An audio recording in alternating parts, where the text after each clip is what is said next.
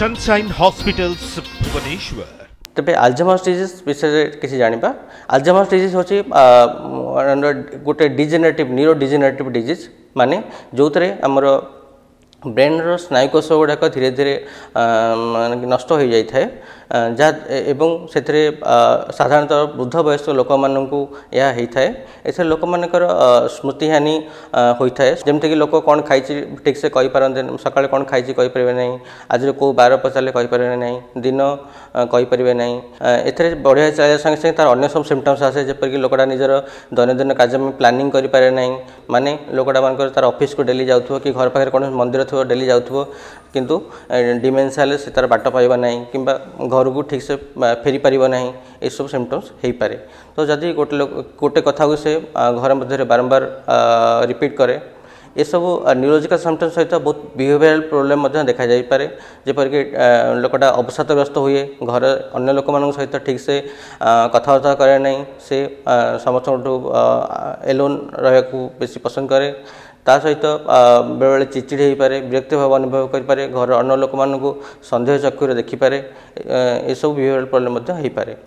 তবে আলজামার ডিজিজ হলে তার কোন চিকিৎসা করি করিহেব কি তো আলজামার ডিজিজ বহুত বহুত প্রকার স্তর রয়েছে মাইল্ড মডারেট সিভিয়র तो जदि आम माइल्ड मोड स्टेज रे आम तार को ट्रिटमेंट करवा तो आम तार किसी बौद्धिक विकास कर पार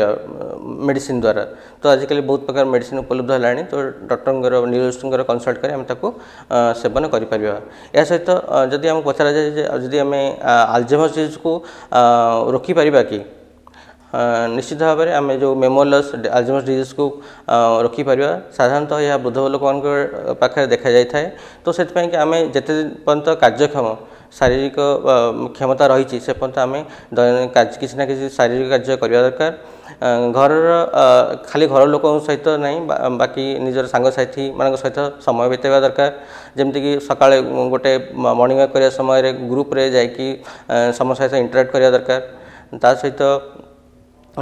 ଯେମିତି ବହୁତ ପ୍ରକାର ରିକ୍ସ ଫ୍ୟାକ୍ଟର ଯେଉଁଟାକି ଭାସ୍କୁଲାର ରିକ୍ସ ଫ୍ୟାକ୍ଟର ରହିଛି diabetes blood pressure high cholesterol ଯେଉଁଟାକି ବ୍ରେନ୍ ଷ୍ଟ୍ରୋକ୍ କରେ କରାଇପାରେ ପରବର୍ତ୍ତୀ ସମୟରେ ଡିମେନ୍ସିଆ ବି କରାଏ ତ ସେସବୁ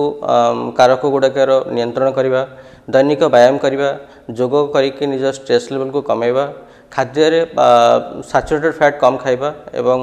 ପନିପରିବା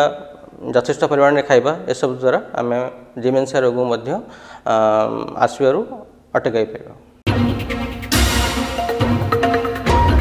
Sunshine Hospitals, Bhubaneswar.